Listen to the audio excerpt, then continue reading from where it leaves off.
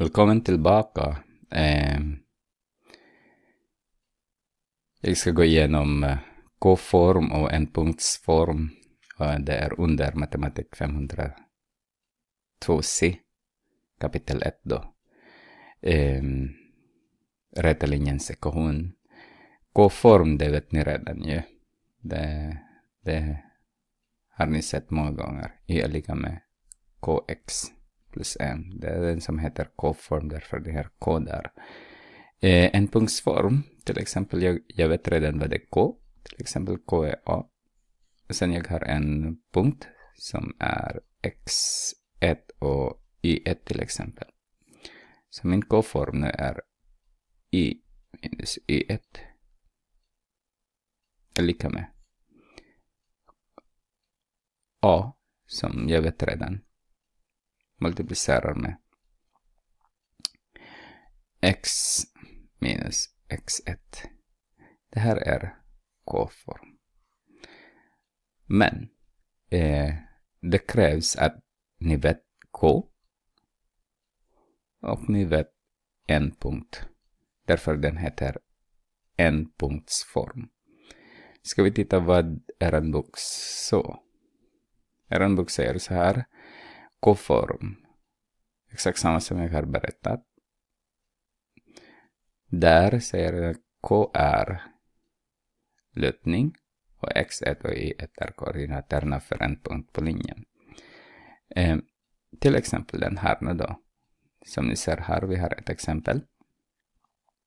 Så om jag följer det här med X1. Det är min X1 och i1. Så har jag Y. Subtraherar vi den med 3. Är lika med K som är 5. Multiplicerar vi med X. Eh, subtraherar med 4 i parentes. Och sen löser vi ekvationen. Så om vi adderar det plus 3. Plus 3 där. Så har vi, och sen multiplicerar vi in den, så 5x. Den blir 0. Och vi har negativ 20. Och sen vi har plus 3. Så y är lika med 5x minus 17. Alltså vår m kommer dit. Det är vår m, negativ 17. Ska vi se om vi har några till exempel. Här då. Exakt samma. Vi gör exakt samma. Y minus Y1 är lika med K. Eh, X minus X1. Ser. Så vi följer. Det här är vår X1 och Y1. Så Y har vi med 2 är lika med 4 subtraherar vi det med eh, x. Ah, nej, multiplicerar vi med x. Subtraherar vi med negativ 3 i parentes. Om vi adderar plus 2 där då och plus 2 så har vi 0 redan direkt där så y är lika med multiplicera in så har vi 4x. Den här blir positiv. Så om vi har eh, om vi multiplicerar in där nu så har vi negativ, negativ, det är positiv, så har vi positiv 12. Sen adderar vi det med 2.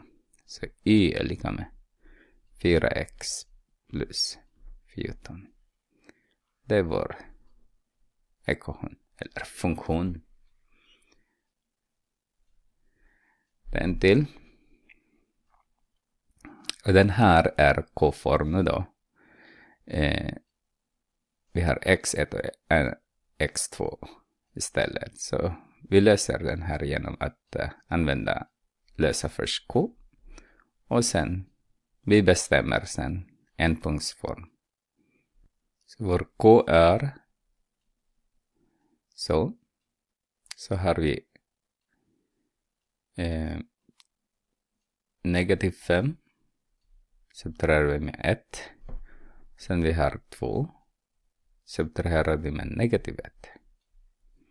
Så har vi negat är lika med negativ 6 dividerat det med 3. Därför att det blir negativ, äh, de negativ och negativ blir positiv. Så har vi negativ 2. När man är klart med den, man kan välja vilken punkt man vill. Det är en annan äh, en metod som man kan göra. Så om jag väljer den här punkten så har jag i på den är jag ska y är lika med kx plus m. Så y på den är ehm, 1 är lika med k som är negativ 2 multiplicerar med negativ 1 plus m. x är negativ 1. Så har jag 1 är lika med negativ, äh, positiv 2 förlåt, plus m. Löser vi ekvation minus 2 minus 2. m är lika med negativ 1. Så min funktion är y är lika med negativ 2x minus 1. Vill man använda den uh, enpunktsform så kan man göra så här. Det vet vi redan k. Alltså k är lika med negativ 2. Lika med där. Så om vi säger att det är vår x1 och det här är vår y2 så har vi y minus y1 menar jag. y1 är negativ 5 så negativ 5 är lika med negativ 2 multiplicerar vi med dem med x minus 2 i parentes. Så den här blir positiv, så i plus 5 är lika med. Multiplicerar vi in, så vi har negativ 2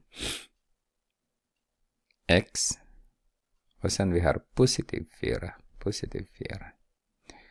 Och sen vi löser ekvationen, negativ 5 där, så att y är kvar ensam. Så y är lika med negativ 2x minus 1. Så vilken metod vill ni använda? Ni får samma eh, funktion. Ska vi se om det finns en till.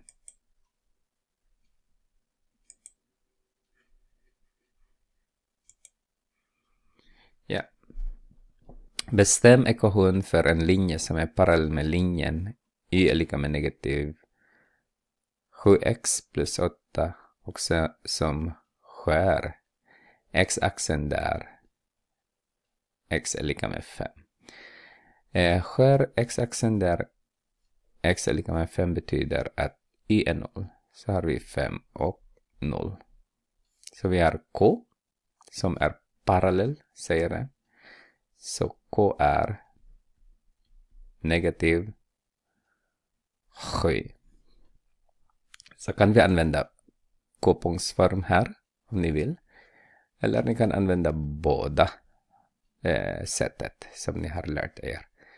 Jag ska göra det. Jag ska visa till er. Okej, okay? så har vi eh,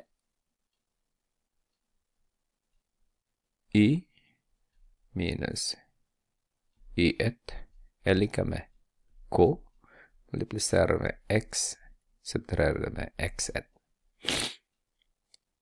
Här är x1 och y1. Så, så y minus 0 och k är negativ 7 multiplicerar med x subtraherar vi med 5. Den här 0 redan så har vi bara e, i på andra sidan nu då. Här på vänsterled. Så vi har negativ 7x. Vi multiplicerar in. Sen det blir positivt 35. Där är vår funktion. Använder vi k-form, y är lika med kx plus m. Då använder vi det. Så har vi 0 är lika med, för att hitta m då först k är negativ 7 multiplicerar med 5 plus m. Vi gör plus 35. Plus 35 där. Så att den här blir 0. Så har vi m är lika med 35. Då har vi hittat m redan. Så y är lika med k är negativ 7 x plus 35. Två metoder ger samma lösning.